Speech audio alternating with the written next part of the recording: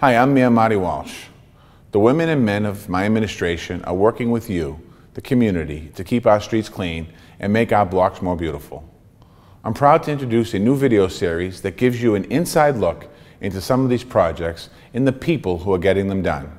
It's called Public Works in Your Neighborhood.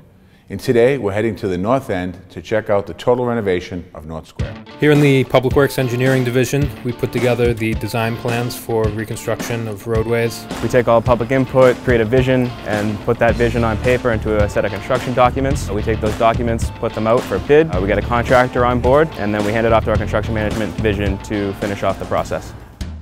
I'm Katie Choe, Chief Engineer for the Public Works Department. We're incredibly excited to be reconstructing North Square in the North End. It's one of our most important historic areas of the city, and we want to make sure that we're continuing to complement the jewel that is North Square within Boston. We're completely reconstructing all of the roadways and sidewalks to make sure that they function not just as they used to, but um, as a new modern transportation system. We're maintaining all of the historic materials. We are going to have cobblestone streets throughout the square. We're going to have beautiful new traversable brick sidewalks, both on the Freedom Trail side of the square, but also um, throughout the rest of the square where the residents and the businesses are. We want to make sure that this important historic site is accessible to everyone, so the sidewalks will be fully ADA compliant. They uh, will be traversable by anyone on foot or on wheels, um, which is very important for an area that gets millions of tourists a year. This project is so important to the city because two historic landmarks are located in or pass through North Square.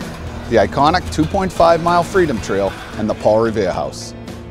Hi, I'm Nina Zannieri. I'm director of the Paul Revere House, which is this great historic building back here. And as you can see, there's a lot of construction going on, but we're really pleased because this is a major project by the city to redo the sidewalks and the streets so that all the tourists who come here have a really great looking place. We're so happy with the city and the mayor for thinking this is a great project. DPW has been great to work with, the construction company. So thank you to the city, and this is a great project for everybody who visits the Paul Revere House. In addition to the roads, sidewalks, and street lighting, we'll also be reconstructing the plaza at the heart of North Square and adding a public art piece in partnership with the Public Arts Commission. My name is Joe Arena. I work for uh, Saccone & Sons Construction.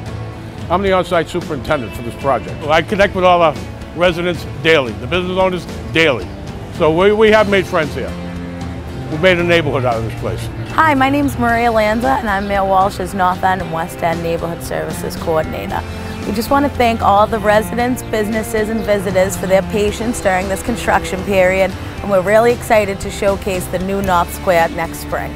Be on the lookout for our North Square construction updates and North End general construction updates at boston.gov. Thanks so much. See you in the square.